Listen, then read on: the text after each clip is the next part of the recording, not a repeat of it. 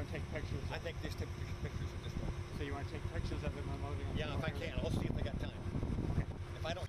They are gonna, they are gonna be unloading on the go, if anybody wants to get any more photos. Yeah, I think I think that's you're enough done, for that's today, okay. Harold. We need to yeah, go now. yeah, Thank you. Yeah, good. So good. Yeah, good. Good, good experience. Yeah, Thank you. I think they uh, Yeah. they do quite a bit of uh, work in a very quick time here. So Yeah, yeah. you know, they have to get this done.